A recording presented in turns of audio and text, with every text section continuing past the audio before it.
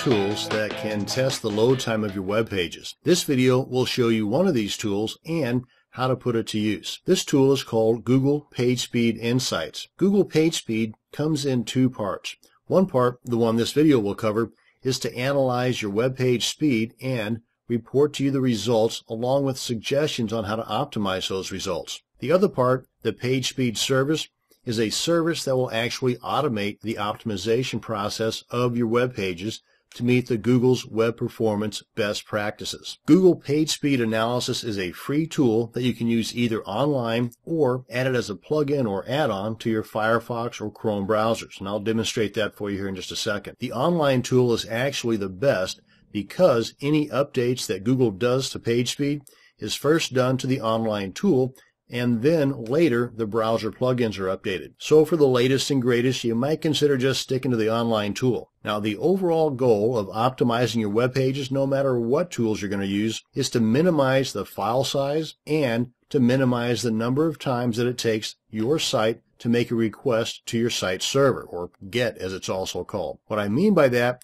is every URL on your site will require a request to your server for the contents of that URL to display. Let me show you what I'm talking about. Let's head on over to one of my demonstration sites here and check out the page source or the code that makes up this site. I'm going to right click, then left click on view page source.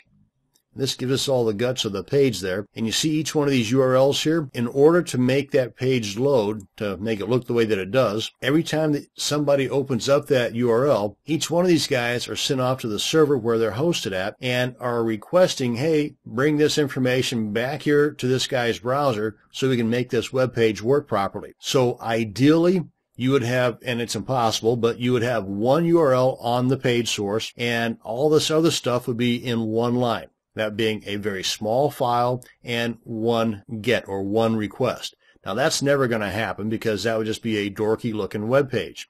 But that's what you're shooting for to have the minimum number of requests and the smallest file size you can get overall. That includes images, videos, text, and everything. Let's go and close this out here. Now, every time that your site makes a request to your server, it's also using bandwidth, which in some hosting packages, you are given a certain amount per month before additional charges begin. Even the unlimited bandwidth hosts have what's called fair use policies, which are usually not part of the advertising, by the way.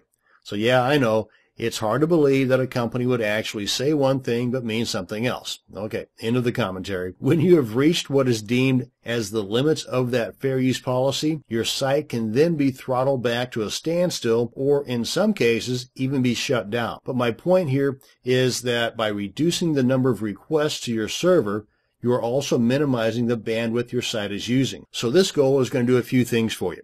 Number one, it's going to speed up your web pages in your visitor's browser, and that's going to make them happy and much more closer to being a lead or a customer of yours. Number two, since Google uses the speed that your web pages load as part of their ranking process of its search results, you stand a far better chance of landing on page one of those search results, which will in turn bring you more free traffic and more of those potentially paying customers. And number three, reduce your overall bandwidth usage which can save you money.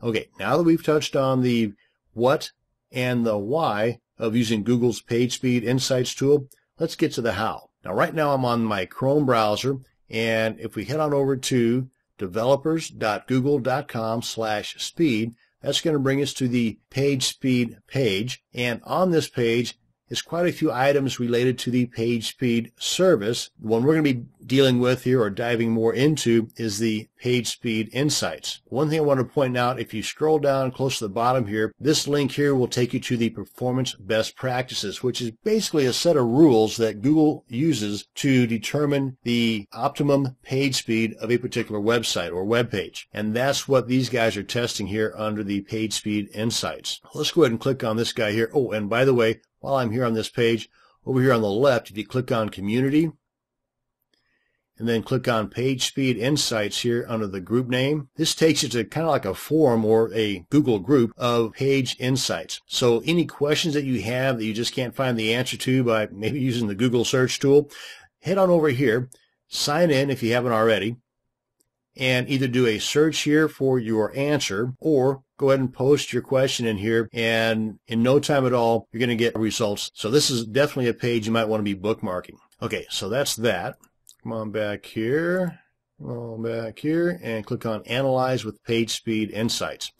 And right here is the online tool I was referring to. And I'll show you the add-on or the plugin section here in just a second. Let's go ahead and test my site. Copy the URL, paste it right in here, click on Analyze. And it's going to do a couple of things for us here.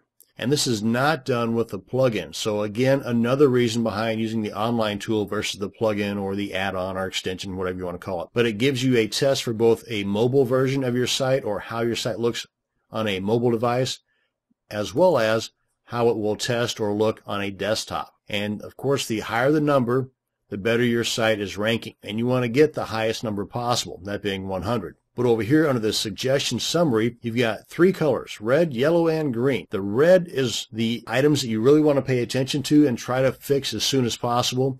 The yellow, eh, it's okay. If you've got time and it's not that big of a deal, go ahead and put some effort into fixing it. And then the greens, hey, you got those perfect. Don't worry about those.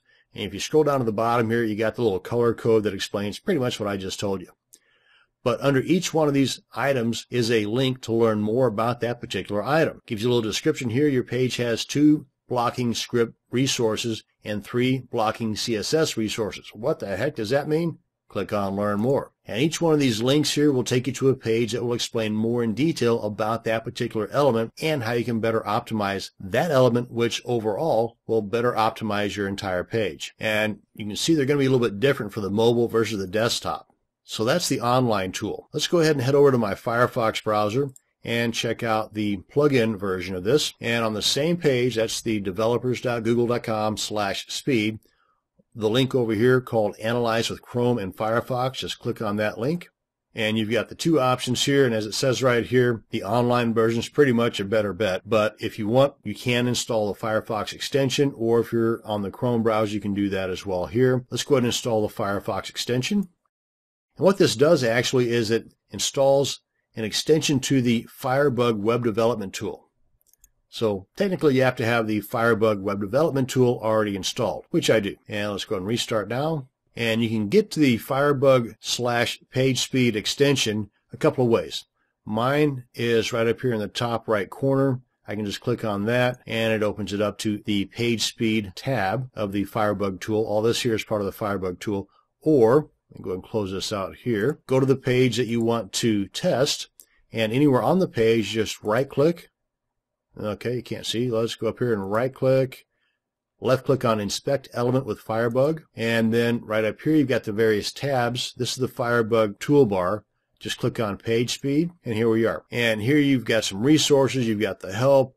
You can analyze either the entire page, or certain elements of the page. And you've got some additional information down here. Let's go ahead and click on Analyze Performance just to kind of give you a comparison between this one and the online tool.